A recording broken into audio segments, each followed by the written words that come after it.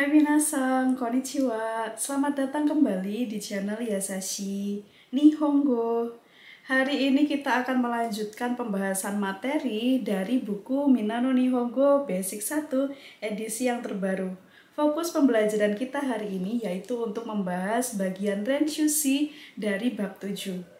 Bagi minasang yang ingin menyimak video pembahasan Renshushi hari ini, pastikan sudah selesai menyimak pembahasan tentang pola kalimat dari Renshu E dan Renshu B dari bab 7.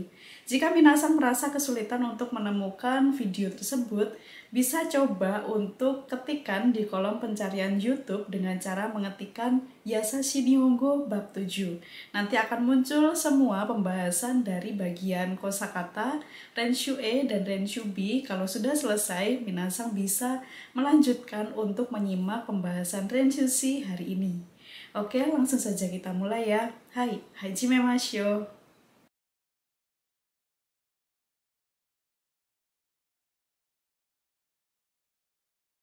Renshushi bab 7 ada di halaman Rokuju Ichi Peji. Ada di halaman 61. Kita mulai dari Ichiban nomor 1. Ada A di sini mengawali percakapan dengan menanyakan suatu hal. Korewa Nihongo de nandeska? Ini dalam bahasa Jepang apa? Kemudian B menjawab Hasami des. Karena di situ kita lihat barangnya adalah gunting ya. Kemudian A ingin memastikan cara spelling atau ejaan yang benar dari kata hasami ya, sehingga dia mengucapkan hasami deska. Hasami kah? Kemudian B menjawab hai so des. Iya, benar. Jadi di sini menggunakan pola kalimat yang digunakan untuk menanyakan bagaimana kita menyebutkan suatu benda dalam bahasa Jepang. Kore wa Nihongo de nandeska? Ini dalam bahasa Jepang apa? Nah, sekarang kita akan coba untuk mereplace atau mengganti bagian yang ada garis bawahnya ya. Di sini kita lihat ada dua bagian. Bagian yang pertama menyebutkan istilah sebuah benda dalam bahasa Jepang. Nanti didasarkan pada keterangan gambar yang ada di bawah contoh percakapan ya. Kemudian bagian yang kedua nanti kita harus memberikan bagaimana caranya spelling untuk memastikan cara baca yang benar dari kata tersebut. Kita lihat pada gambar nomor satu di situ ada bendanya adalah stapler.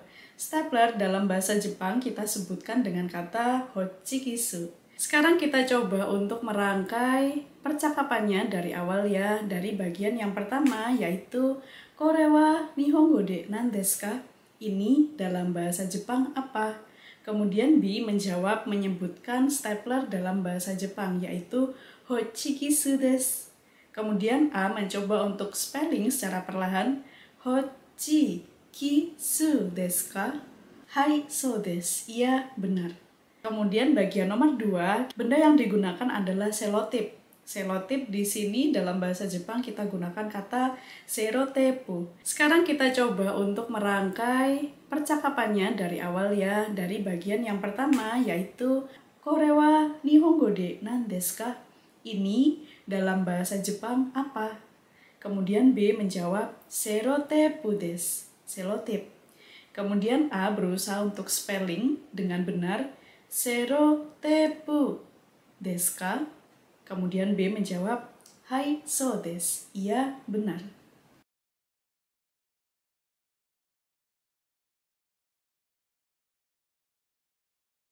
Berikutnya, Nibang nomor 2 diawali dengan A mengucapkan Sonotoke suteki desu ne. Sonotoke, jam itu bagus ya. Kemudian B menjawab, Arigatou gozaimasu, terima kasih. Tanjo bini cici ni moraimashita. Saya menerima dari ayah di hari ulang tahun.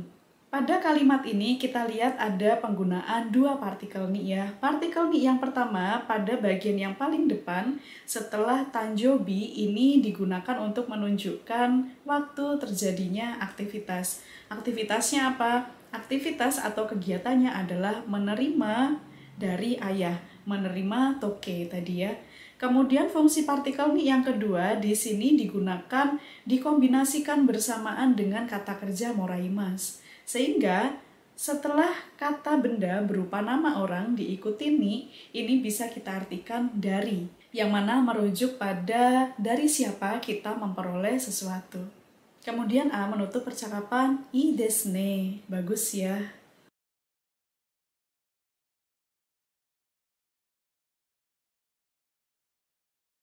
Pada bagian nomor 2 ini kita perhatikan ada dua bagian yang harus diganti. Yang pertama adalah nama benda yang sedang dibicarakan.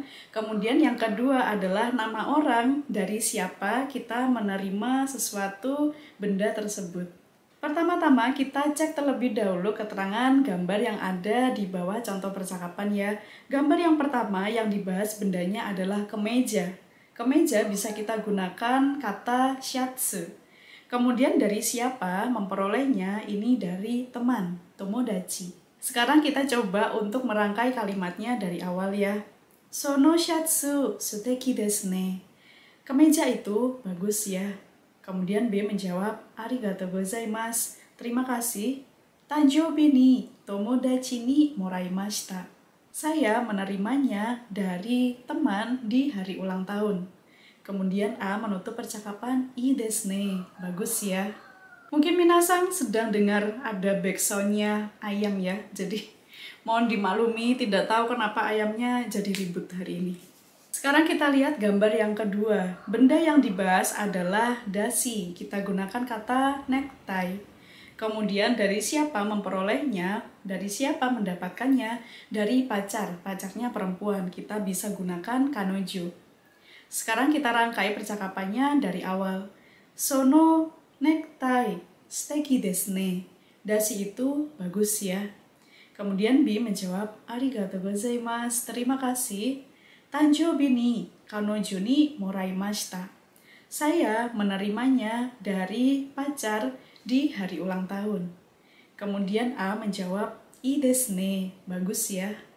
Kita perhatikan di sini kalimatnya B meskipun tidak ada kata watashi, tapi pada saat kita menerjemahkannya, supaya lebih natural, bisa kita tambahkan arti saya. Saya menerimanya dari pacar di hari ulang tahun. Karena ini merupakan kebiasaan orang Jepang ya, pada saat berbicara, membicarakan aktivitas yang dia lakukan secara langsung, biasanya mereka tidak mencantumkan watashi. Jadi biasanya watashi itu hanya diletakkan atau disebutkan di bagian awal saja, setelah itu mereka tidak menggunakannya. Jadi agak berbeda ya dengan uh, bahasa Indonesia yang biasanya kita pakai. Kalau dalam bahasa Indonesia kita sering menyebutkan saya misalkan saya tadi pagi bangun jam 5, saya makan jam 7, saya berangkat ke sekolah jam 9. Nah ini kalau dalam bahasa Jepang, untuk bagian watashi atau sayanya cukup disebutkan di awal saja. Seperti itu karakter komunikasi yang biasanya digunakan dalam kehidupan sehari-hari mereka.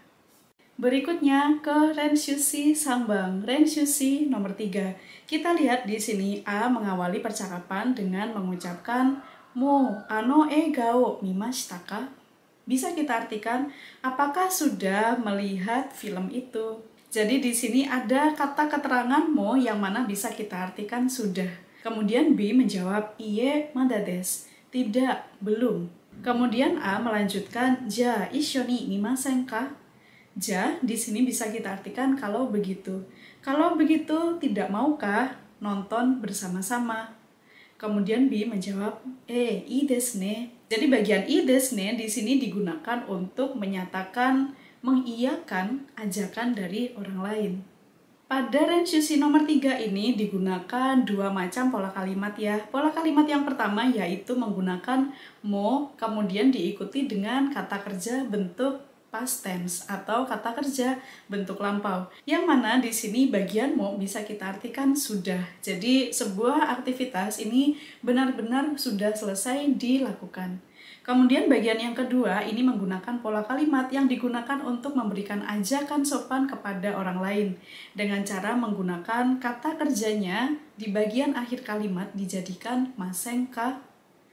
Dan di sini ada dua bagian yang harus kita ganti yang pertama adalah aktivitas sesuai dengan gambar untuk mencari kejelasan sudah selesai atau belum dilakukan.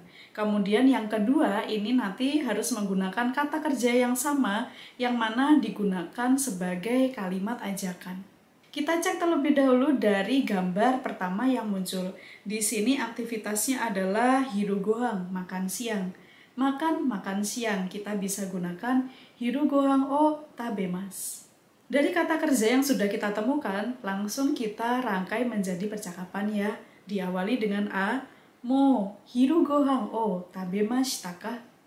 Apakah sudah makan makan siang? Kemudian B menjawab, Iye madades. Tidak, belum. Kemudian A melanjutkan, Ja, ishoni, tabemasenka? Kalau begitu, tidak maukah makan bersama-sama? Kemudian B mengiyakan, E, i ne. Iya, boleh.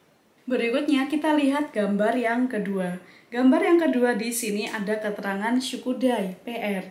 Untuk kita rangkai dengan kata kerjanya, maka kita menggunakan syukudayo shimas, mengerjakan PR. Sekarang kita rangkai percakapannya dari A, apakah sudah mengerjakan PR? Jadi kita gunakan mo syukudayo shimas taka Kemudian B menjawab, Iye madades. Tidak, belum. Kemudian A melanjutkan, Ja, ishoni shimasen ka? Kalau begitu, tidak maukah mengerjakan bersama-sama? Kemudian B menjawab, Eh, i desu ne. Ya, boleh ya.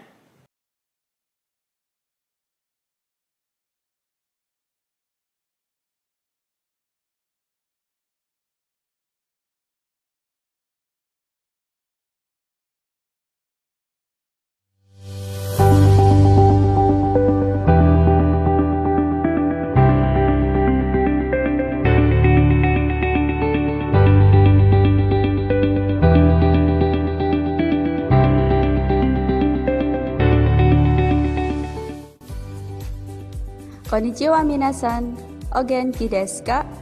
Hai teman-teman pencari beasiswa studi ke Jepang atau kamu yang ingin bekerja di perusahaan Jepang, apa sih kunci sukses dapat sertifikat JLPT atau NAT dengan nilai terbaik? Pahami konsep soal dengan baik dan tepat. Ini nih referensi terbaik dengan 10 paket soal dan pembahasan yang gamblang. Top skor JLPT N5 dan NAT Q5. Kamu dapat belajar dengan nyaman karena buku dikemas menjadi dua bagian, yaitu paket soal dan pembahasan. Paket soal disertai fitur digital untuk lembar jawab digital, mendengarkan soal audio listening, melihat skor nilai, dan analisis butir soal yang menjadi titik lemah yang belum kamu kuasai. Buku kedua adalah panduan belajar otodidak buat kamu Pembahasan lengkap dicetak dua warna, berbahasa Indonesia, dan video tutorial dalam sekali klik.